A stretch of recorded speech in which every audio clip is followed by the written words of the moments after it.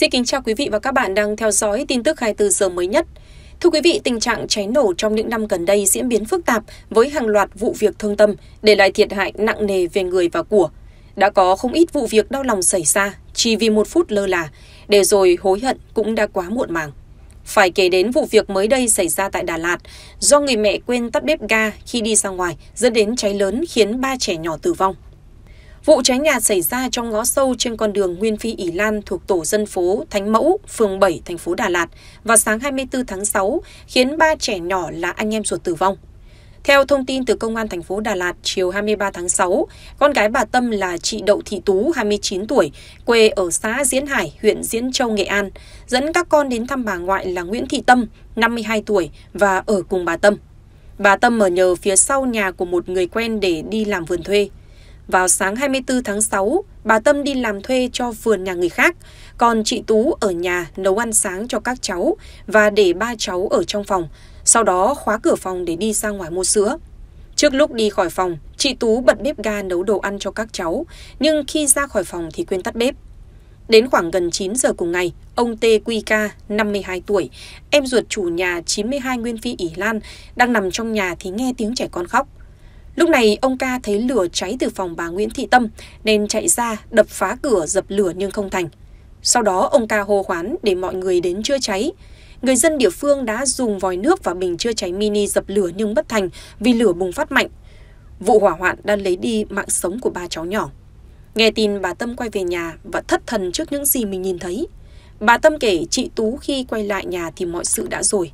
Chị ngất lịm, người dân phải đưa vào trạm y tế để hồi sức. Chị Tú ở nhà chồng ở huyện Định Quán, tỉnh Đồng Nai. Hè, chị đưa các con đến chỗ chồng làm thuê ở Bình Thuận cho con thăm cha. Sau đó chị đưa các con lên thăm bà ngoại vài ngày rồi đưa về thăm nhà ở Nghệ An. Khi những chiếc xe tang đưa ba chiếc quan tài rời nhà tang lễ, chị vẫn ngơ ngác không hiểu chuyện gì xảy ra. Anh Vòng Duy Anh 30 tuổi, cha của ba em nhỏ, đang nuôi tôm mướn ở Bình Thuận. Nghe tin dữ, anh đến Đà Lạt thì đã chiều muộn. Anh đứng lặng im ở nhà tang lễ, nước mắt hòa nước mưa. Ngay sau khi vụ cháy xảy ra, người dân tự lập thùng quyên góp để người qua lại hỗ trợ gia đình nghèo khó, lo cho con lúc ngặt nghèo. Nhà tang lễ của Bệnh viện Đa khoa tỉnh Lâm Đồng đông nghẹt người đến thăm và gửi tiền ủng hộ. Đà Lạt mưa cả buổi chiều, bà con đội mưa mà đến. Theo Ủy ban Nhân dân thành phố Đà Lạt, chỉ trong một buổi chiều, cơ quan chức năng đã nhận hơn 420 triệu đồng tiền đóng góp của người dân và hỗ trợ của các đoàn thể. Sau vụ cháy thương tâm, Ủy ban Nhân dân tỉnh Lâm Đồng đã ban hành công điện yêu cầu giám đốc, thủ trưởng các sở ban ngành, chủ tịch Ủy ban Nhân dân các huyện, thành phố Đà Lạt và Bảo Lộc tăng cường công tác phòng cháy chữa cháy trong tình hình mới. Theo đó, Ủy ban Nhân dân tỉnh Lâm Đồng yêu cầu phải nâng cao hiệu quả công tác tuyên truyền, hướng dẫn kiến thức và kỹ năng phòng cháy chữa cháy, cứu nạn cứu hộ, các điều kiện an toàn cháy nổ cho người dân, các khu dân cư, các cơ sở có nguy cơ cháy nổ cao trên địa bàn. Vài giờ sau vụ hỏa hoạn ở Đà Lạt tỉnh Lâm Đồng, đoàn xe lần lượt đưa ba chiếc quan tài của ba đứa trẻ về với gia đình ở Đồng Nai để lo hậu sự. Khu phố Hiệp Tâm 2, thị trấn Định Quán, huyện Định Quán tỉnh Đồng Nai, sáng 25 tháng 6, bao trùm không khí tang thương.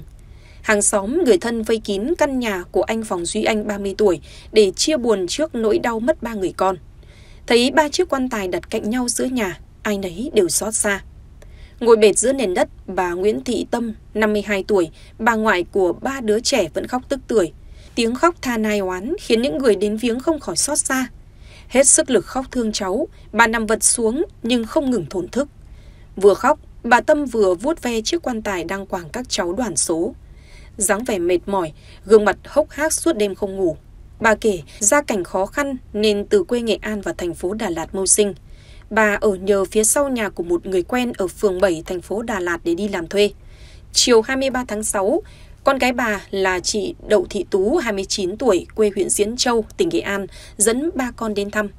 Sáng 24 tháng 6, còn công việc ở phường nên bà đi làm. Con gái ở nhà với các cháu. Vài giờ sau, bà đang làm thì hay tin nhà bị cháy. Bà tất tưởi chạy về, lòng nguyện mong các cháu đều bình an. Tới nơi bà hốt hoảng nơi mình sống kín người, công an căng dây xung quanh. Căn nhà cháy đen, còn các cháu đã tử vong. Nhắc tới đây bà Tâm bần thần, đôi tay nhăn nhúm vuốt ve những kỷ vật liên quan ba cháu ngoại. Mỗi khi có ai nhắc tới những đứa trẻ, bà lại không kìm được xúc động và quả khóc. Một người nhà cho biết, Tối qua khi xe cứu thương chở quan tài ba đứa trẻ về đến nhà, người mẹ tiếp tục bần thần rồi ngất xỉu nên được người thân đưa đi bệnh viện cấp cứu. Người cha dối bời, buồn bã nhưng cố gắng vượt qua để chăm vợ, lo hậu sự cho các con. Chắc hẳn quý vị vẫn chưa quên được vụ cháy thương tâm gây thiệt hại nghiêm trọng về người tại Trung Kính, Hà Nội vào dạng sáng ngày 24 tháng 5. Một ngôi nhà trọ 5 tầng tại ngõ 43 Trung Kính, phường Trung Hòa, quận Cầu Giấy đã bốc cháy dữ dội. Ngay khi nhận thông tin báo từ người dân, lực lượng phòng cháy chữa cháy và cứu hộ cứu nạn đã huy động phương tiện chuyên dụng và hàng chục cán bộ, chiến sĩ tới hiện trường dập lửa. Sự việc xảy ra vào lúc 0 giờ 46 phút ngày 24 tháng 5 năm 2024. Tổng đài 114, Trung tâm Thông tin Chỉ huy Công an thành phố nhận được tin báo cháy nhà dân tại địa chỉ số 1, hẻm 31, ngách 98, ngõ 43 đường Trung Kính, phường Trung Hòa, quận Cầu Giấy. Ngay khi nhận được thông tin, Công an thành phố đã điều động 50 cán bộ chiến sĩ của lực lượng cảnh sát phòng cháy chữa cháy và cứu nạn cứu hộ Công an thành phố và Công an quận Cầu Giấy, lực lượng cảnh sát 113 Công an quận Cầu Giấy, Công an phường Trung Hòa khẩn trương đến hiện trường, phối hợp các lực lượng khác của chính quyền và người dân địa phương tổ chức chữa cháy. Ngôi nhà bị cháy nằm trong ngõ sâu cách mặt đường trung kính khoảng 200 mét và mặt ngõ hẹp khoảng 2 mét, khiến công tác cứu hỏa gặp nhiều khó khăn. Đến 0 giờ 52 phút cùng ngày, các đơn vị đã tiếp cận hiện trường, triển khai chữa cháy, ngăn cháy lan cùng các mũi trinh sát, tìm kiếm, cứu người bị nạn. Thời điểm này đám cháy đã thiêu dụi nhiều xe máy, xe đạp điện, xe đạp tại khu vực sân, khói và khí độc bao trùm toàn bộ khu vực cháy. Đám cháy xảy ra tại khu nhà cho thuê trọ gồm 5 tầng, mỗi tầng 2 phòng, tầng 1 kinh doanh xe đạp điện và sửa chữa xe điện. Ngôi nhà nằm trong ngõ nhỏ rộng khoảng 2 mét, cách mặt đường trung kính chừng 200 mét, xe cứu hỏa không thể tiếp cận. Các lực lượng đã tổ chức phá khóa cổng chính, phá ô cửa sổ tiếp cận vào bên trong ngôi nhà và cứu được 7 người mắc kẹt, trong đó có 3 người bị thương được đưa đi cấp cứu. Đến 1 giờ 26 phút, đám cháy được dập tắt hoàn toàn. Qua tìm kiếm, sơ bộ các lực lượng phát hiện 14 người tử vong. Một tình cảnh hết sức thương tâm của hai nạn nhân trong vụ cháy nhà trọ ở Trung Kính, khi mà đám cháy quái ác đã khiến cho kế hoạch và giấc mơ của hai người mãi mãi giang dở. Phan Thị Thanh Hải và Nguyễn Mai Xuân Hán, quê Hà Tĩnh, yêu nhau đã 8 năm, nhưng vụ cháy ở Trung Kính Hà Nội khiến kế hoạch cưới cuối năm của họ giang dở. Hải và Hán cùng 27 tuổi, quê huyện Đức Thọ Hà Tĩnh, là hai trong 14 nạn nhân tử vong trong vụ cháy nhà ở phố Trung Kính, quận Cầu Giấy, Hà Nội, lúc 0 giờ 30 phút ngày 24 tháng 5. Dự kiến ngày 25 tháng 6, hai nạn nhân sẽ được hỏa táng, sau đó gia đình nhận cho cốt đưa từ Hà Nội về Hà Tĩnh lo hậu sự. Trưa 25 tháng 5, hàng chục người dân tập trung tại nhà Hải ở thôn Đại Châu, xã Tùng Châu, huyện Đức Thọ để hỗ trợ dựng dạp làm tang lễ. Xem lại tấm ảnh con gái cười tươi, mặc áo dược sĩ được lưu trong điện thoại, bà Hoàng Thị Hồng Loan, 54 tuổi, òa khóc, liên tục lấy tay lau nước mắt chảy dài trên má. Bà Loan sinh được ba người con, Hải là con út.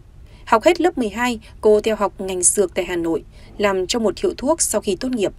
Vợ chồng bà Loan làm nông nghiệp tích góp xây được căn nhà kiên cố.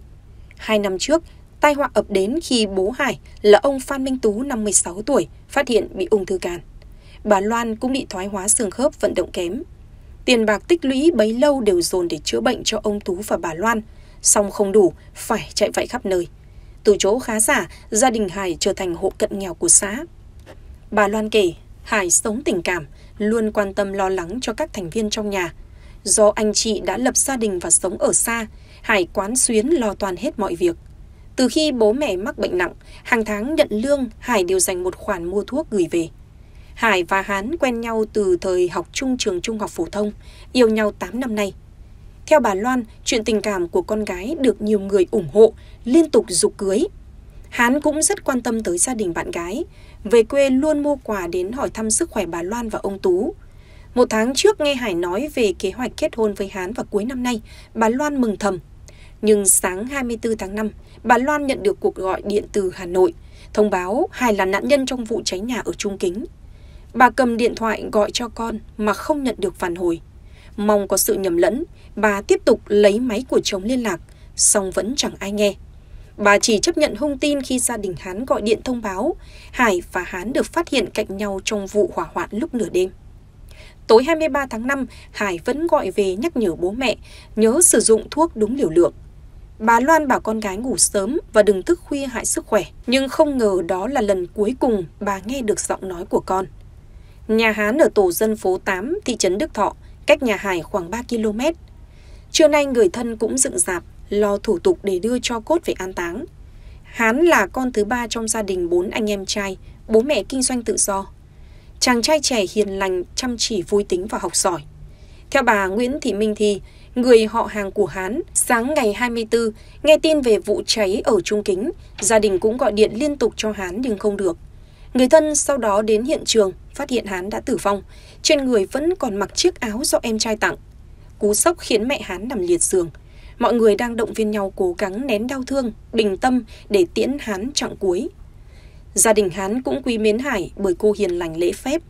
Bố Hán nói hai con không có duyên ở kiếp này, mong ở kiếp sau sẽ được đoàn tụ, tổ chức đám cưới còn giang dở.